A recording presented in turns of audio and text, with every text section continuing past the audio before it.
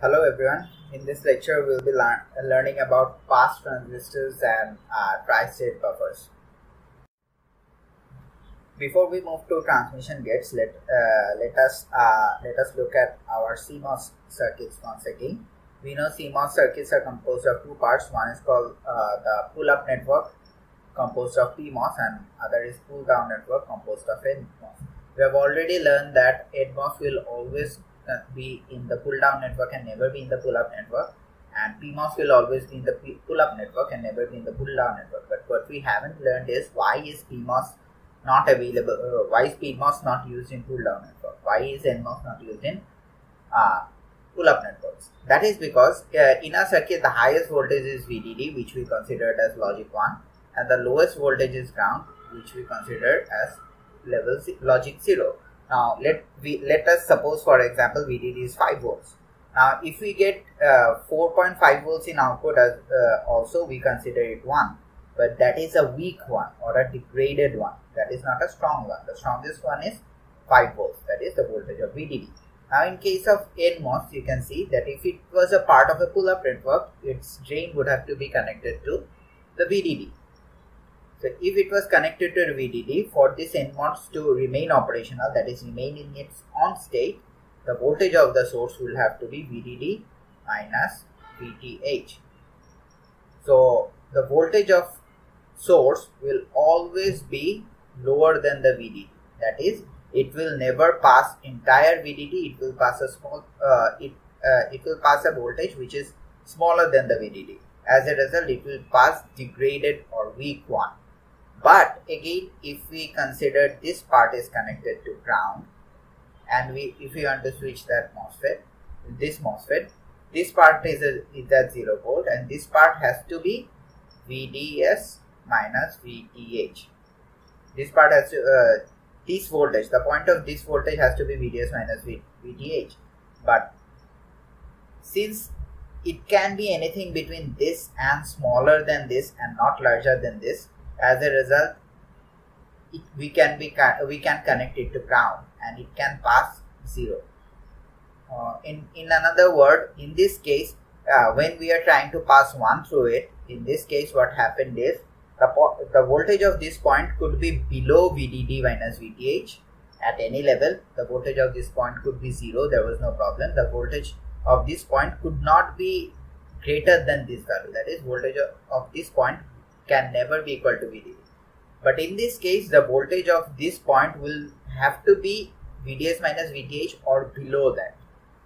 But it can be, since it can be below that, it can be 0 as well. If we find 0 here, it can transmit the 0 to the output. No problem at all. But it, it, similar is the case in case of PMOS. Uh, in case of PMOS, when we connect VDD to it, there is no problem. But we, when we connect ground to PMOS, then the problem occurs that the voltage at this point will not be 0 rather it will be VDS minus VT uh, that is VSD minus VTH. VSD minus VTH. As a result the voltage of this point will be greater than 0 as a result we can say that PMOS can pass strong 1 but degraded or weak 0 similarly NMOS can pass strong 0 but degraded or weak 1 so PMOS cannot be used as uh, used as a part of a pull down device and NMOS cannot be used as a part of a pull up device. They can be used but they are not very efficient. Now we are looking at uh, looking at transmission transmission gates which are formed of a PMOS and an NMOS and these gates can uh, produce degrade uh, this produce degraded outputs but it can pass both 1 and 0 well the pass transistors, that is the transistors used to produce degraded output, for example, NMOS produces produce degraded 1 and PMOS produce degraded 0. But transmission gates, irrespective of everything, can pass both 1 and 0 well. So this is the circuit of transmission gates. Let us look at it. So let us suppose our A is the input and B is the output. Uh, now if our G is equal to 1 and GB is equal to 0, then what ha- uh, sorry g is equal to 1 and gb is equal to 1 as uh, 0 what happens is g is 1 that means this nmos is on GB is 0, that means this PMOS is also on. Total transmission gate is on. on. Now if A is equal to 1, this 1 will be passed through this PMOS and if A is equal to 0, this 0 will be passed by the NMOS. As a result, it can pass both 0 from uh, using the NMOS and 1 using the P PMOS well. Uh, tri-states, tri-states are similar to transmission gates. The tri-states contains enable option. If the enable is 0, output is floating. That is output, uh, the voltage of output is neither high nor low, neither 1 nor 0 if the enable pin is uh, for example in the truth table we can see a is input z is output we are considering uh, uh, if if the enable pin is 0 the output is z. Z means floating. If the enable pin is 1 then output is equal to input. So this is called tri-state. That is its output whether its output is mapped to the input or whether its output is floating, we can control it. And we sometimes require this kind of operation. So, non-restoring tri-state transmission gates, they can work, uh, work as non-restoring tri-state using the two, two transistors. For example, uh, in the tri-state we consider here G and here GB. But in this case, in non-restoring tri-state, we can consider this is our enable pin and this is the bar of enable pin. That is, if we put En is equal to 1, automatically En bar becomes 0. And as a result, En is equal to 1 will indicate this MOSFET is on. En bar is equal to 0 will indicate this MOSFET, that is PMOS in on. When both are on, A will be mapped to Y. If we consider En is equal to 0 and En bar, then En bar will automatically be equal to 1. If the signal at this gate is 0, this, trans, uh, this NMOS turns off if the signal at this gate is 1, this PMOS turns off as well. As a result, no signal can flow from A to Y. The problem problem is that it is non-restoring, that is noise from A will be passed to Y. If a signal, our signal A is noisy, our output Y will be noisy because whatever is in the input, when the gate is on or when the buffer is on, tri-state buffer is on, that will be mapped to the output. So a noisy input will give result, uh, result into a noisy output. Now let us look at tri-state inverters. We have learned tri-state that they can control they can control the flow of signals. That is, they can uh, make the output uh, linked to the input, or they can make the output floating. So we are considering a. Let us uh, just look at a basic inverter circuit. This is our basic inverter circuit. Here we get our input. Here we get VDD ground, and from here we will get output. So as a result, in this in this circuit, if A is equal to 1, O will automatically be 0. If A is equal to 0, O, output O will automatically be equal to 1. So there is no enable option available. In order to use the enable option, what we'll do is we can we'll connect a PMOS in series with the PMOS pull, pull up network and an NMOS in series with the, with the pull down network. We can connect it to ground and VDD. Now what we do, we'll still have the inverter connection. So what the inverter connection is does is both the inputs of PMOS and NMOS will be shorted and this will be A. And in these two inputs and we'll get the output from here. In these two inputs what we'll do is we will connect enable P. Here we'll connect enable bar and here we'll connect enable. So what happens is see here we have bar and here we have normal. So what will what it will do is either both the both this transistor and this transistor will be on because if enable is equal to 1 this transistor is 1 it will make enable bar is equal to 0 so this transistor is also on. If enable is equal to 0 this transistor is off. Again enable bar will turn into 1 and this transistor will be off. As a result because of this these two transistors and the enable pins either both these transistors will be off or both these transistors will be on. If both the transistors are on, then we can consider these as short circuit and as a result this circuit looks similar to this. But if both the transistor, for example in this case we can see that both the transistors are on and the circuit looks similar to basic inverter circuit. But if both the transistors are off, we can see the output is connected to something which is floating here that is which is in no way connected to VDD again which is floating here it is in no way connected to ground as a result of which output is floating so in case of tri-state inverters uh, in this example we can see using the tri-state and uh, enable pins we can actually control whether we want to pass the input to the output or we want to keep the output floating now let us look at multiplexer. We have learned about multiplexers in digital electronics. What multiplexer does is it contains a select input. If the select input is 0, it transmits whatever there is in D0 to output. It maps the D0 to the output. If the select input is equal to 1, it maps D1 to the output. So if select pin is 0, then output is equal to D0. If select pin is 1, output is equal to D1. And these are don't care condition. That is if select is 0, whatever the value is there in D1, it doesn't matter. If select is 1, whatever is the value in D0, it doesn't matter. It will just pass the 1. This is the basic multiplexer that we have learned in digital electronics. Now the equation of multiplexer is, uh, as we can see, y is equal to s d1 plus s bar d0. For example, if s is equal to 0, we can see s bar will turn into 1 and this this term will turn into 0 as a result 1 into d0 is equal to d0 our basic boolean arithmetic. So we get y is equal to d0 again if s is equal to 1 we will get s bar will turn into 0 so this whole term will turn into 0 0 into something is 0 and this term since s is 1 s is equal to 1 so s into d1 1 into d1 will turn into d1 basic boolean algebra. So y will be equal to d1 so if we uh, convert into our gate level design what happens is the s is directly connected to an AND gate which is connected to d1 and s is connected to an inverter over here and is connected to another AND gate which is connected to uh, d0 and these two are since there is a plus in between these two are connected to an OR gate and we get the output now, we have already learned CMOS implementation of NAND, NOR and inverter.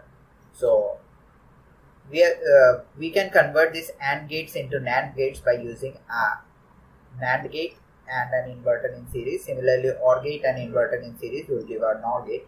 So, we can see we have learned that in case of inverter, we need two transistors, one PMOS, one NMOS. In case of two input NAND gate, we need four transistors, two PMOS, two NMOS in case of also NOR gate, we need 4 transistors, 2 PMOS, 2 NMOS. So the total number of transistors required is 2 plus 4 plus 4, 10 plus 4 plus 4, 18 plus 2, 20.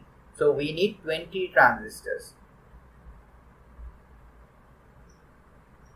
We need 20 transistors to make a, uh, make a mux if we are using gate level implementation, which is too much. So instead of gate level implementation, we can go for CMOS. How we can go for CMOS? We can uh, go for CMOS in this way. The expression is SD1 plus S bar T D0. So we can see uh, in in general case this, uh, here it is inverting that is output will give uh, this will be y bar we'll get y bar over here or y will be see this circle will indicate s d1 plus s bar d0 whole bar. So we have learned how we can implement a gate CMOS circuit and the AND gates in case of AND they are in parallel in case of uh, pull-up circuit. So in pull-up S and D1 transistor, two, two PMOS, PMOS uh, having the gate signal of S and D1 will be parallel. So here S and D, D1 are parallel. Similarly, two transistors having signal S bar and D0 will be parallel. S bar and D naught are here parallel and in case of NMOS or pull down transistor the, the parallels of pull down will get series that is S and D1 will give will be series in, case of uh, in case of NMOS we can see S and D1 over here are in series. Similarly S bar and D0 over here are series. So what is parallel in PMOS or the pull-up network? Is series in pull-down network and this is a CMOS circuit. And this CMOS circuit as we have learned earlier will give us inverted output. In order to get an actual output we will have to use an OR gate here. And S bar is not readily available so we need to use a NOT gate to get S bar from S. So total number of transistors required is 1, 2, 3, 4, 5, 6, 7, 8. Here this will contain 2 transistors, here this will contain 2 transistors. 19, 11, 12. So 12 transistors are needed. So, so we can see that CMOS is uh, uh, CMOS is a better option than uh, logic level design. We have a, a, more better option than that. That is a pass transistor logic. Sorry, transmission gate logic. In case of transmission gate, we can do this by using just four transistors. How we can do that? This is a transmission gate over here, and this is a transmission of gate over here. It is connected in such a way, if S is equal to 0, we see what happens. S is equal to 0 means this turns on and it will also indicate S bar is equal to 1. S bar is equal to 1 means this NMOS also turns on.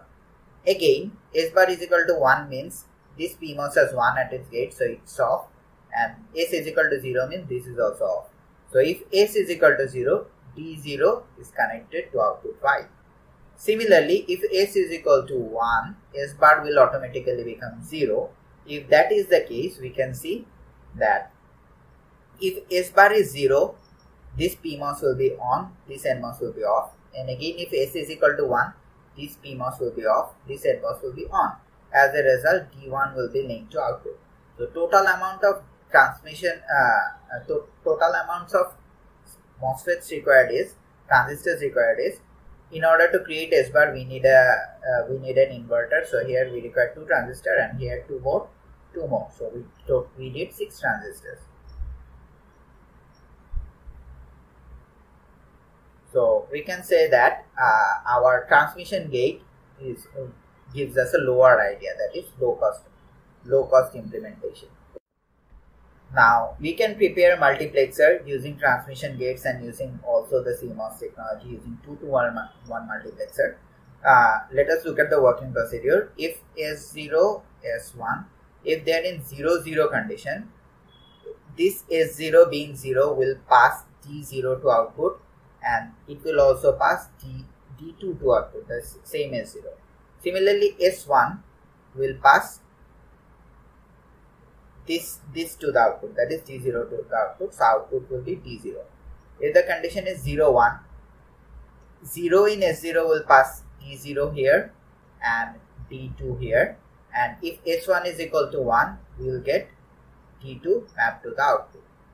So we will get D2 if get one if we get 1 0 what will happen?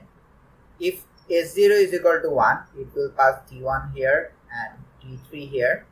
So here we have d1 here we have d3 now if s1 is equal to 0 obviously it will pass the upper part. That is it will pass d1 so output is d1 if we connect 1 1 s0 being 1 will create d1 here and d3 here. S1 being 1 will pass this part to the output. As a result, D3 will be mapped to the output and we will get D3. So similarly, the truth table becomes S0, S1, output 0, 0, 0, 1, 1, 0, 1, 1 will give us D0, D1, D2, D3 in the output. Okay, thank you so much. That's all for today.